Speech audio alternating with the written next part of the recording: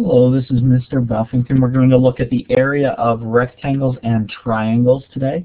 Um, first off, let's talk a little bit about what area is.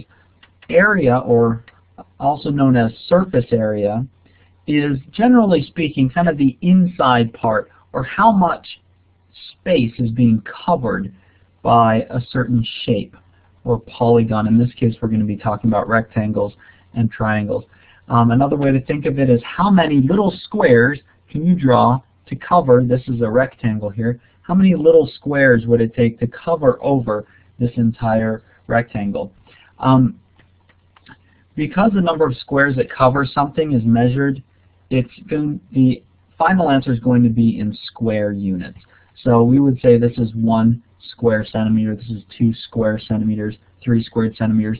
And we can count four, five, six, seven, all the way across. And there are 42 squares here covering this rectangle.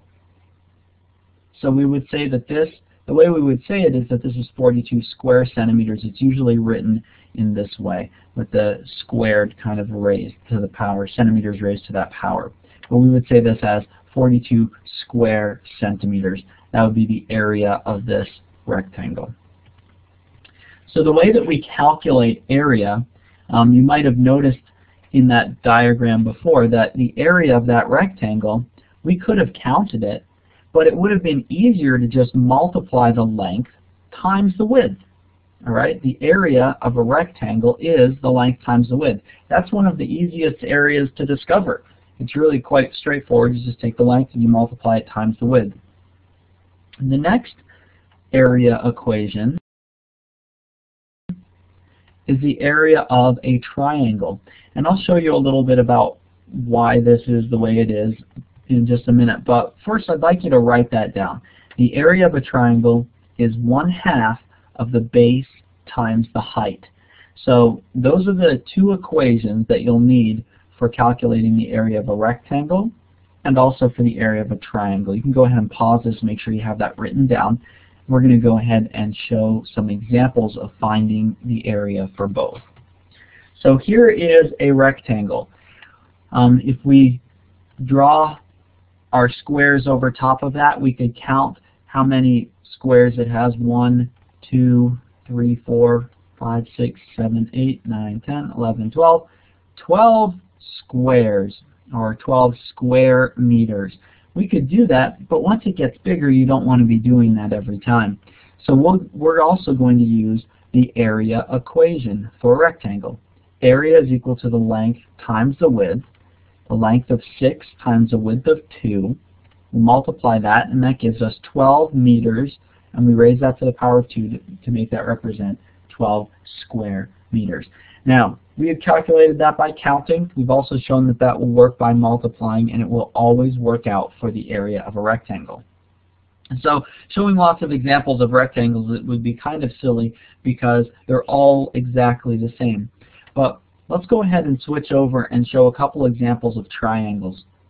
The first example I'm going to show you of a triangle is to try and demonstrate why this equation works.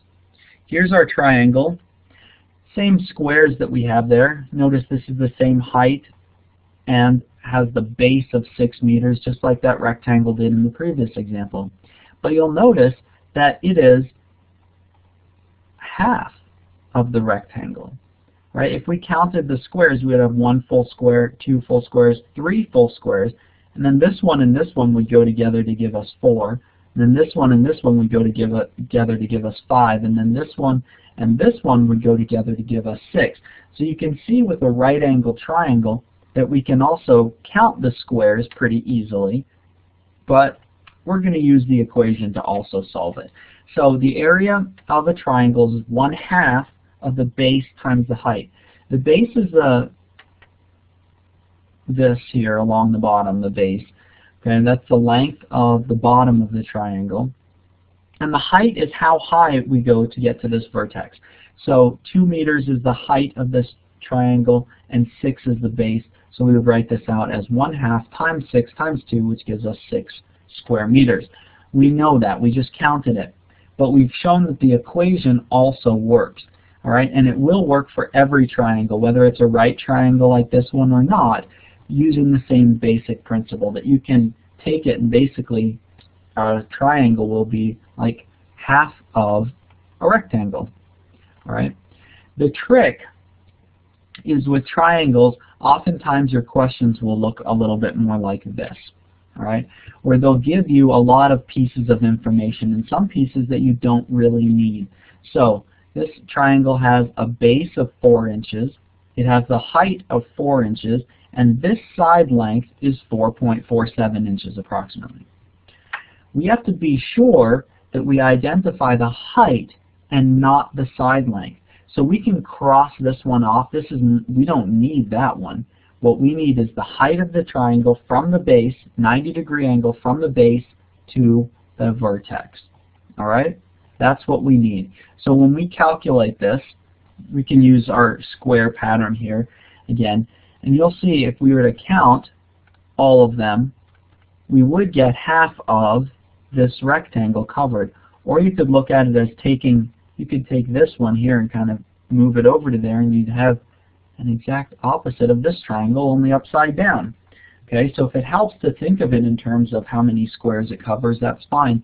But all we really need to do is to look at this equation and make sure we pick out the base, in this case 4, and our height, which in this case is also 4. So half of 4 times 4 is 8. These are inches that we're measuring in, so these would be 8 square inches. That's the area of this triangle. I just about called it a rectangle. Hmm. All right. So that is what we have for two examples for finding the area of a triangle. Remember, you want to have this equation for the area of a rectangle. It's it's the length times the width, and then for the triangle, it's half of the base times the height. Basically the same equation, only we're dividing it in half and that's how we would find the area of a triangle and also the area of a rectangle. Doesn't matter what kind of triangle it is. It can be kind of off to the side. It can be an obtuse triangle, a right triangle, an acute triangle. Doesn't matter.